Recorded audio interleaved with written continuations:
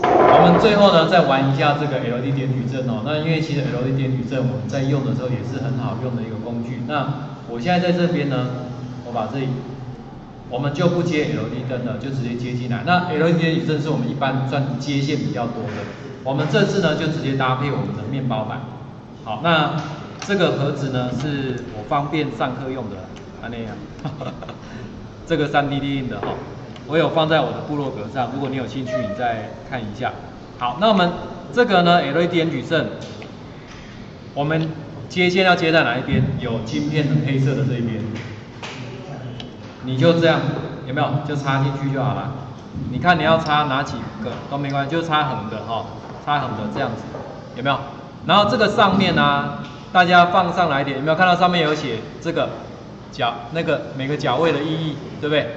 这时候你可以对到我右手边这里，VCC 就是接开发板上的 VCC 电源五伏特，啊，因为这里有六十四颗，再来 GND 就接地，再来它有三个讯号线，好，就分别接到我们这里，分别接到这边，有没有？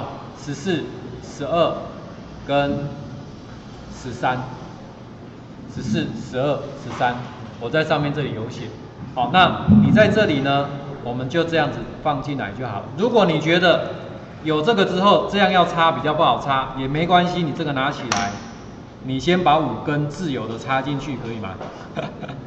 好，你就这五根，你先自由的插进去，这样把它先放进去。我们等一下呢，再用什么 LED 点矩阵来对就好了。反正我就插五根连续的，插五根连续的，你先把它对好。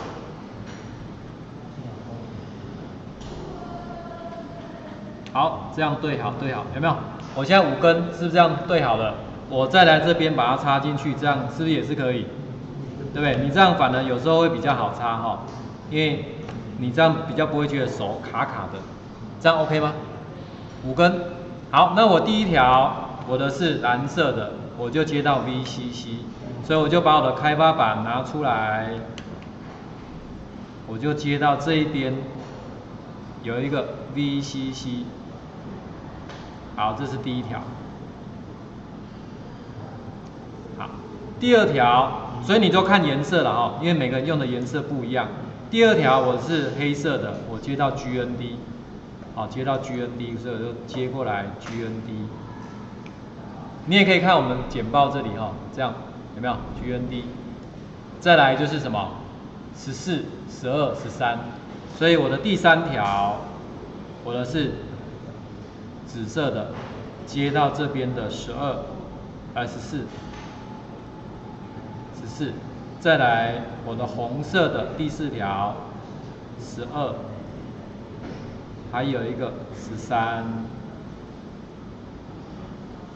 好，这样，所以这样就全部接好了，全部接好之后我才插电哦，哦我才插电哦，所以现在呢我们就把电源我再把它接上去喽。好，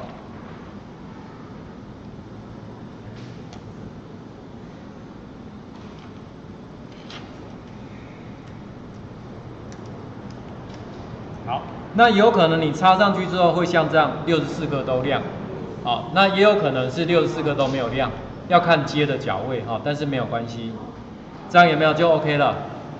哎，所以我们硬体的部分，请你先试看看，这样行不行？我们在模拟器其实也有这个，所以如果说老师您上课的时候怕同学太粗鲁的话，先在模拟器接完，好，先在那边接好，练习完了可以的，再来玩真的。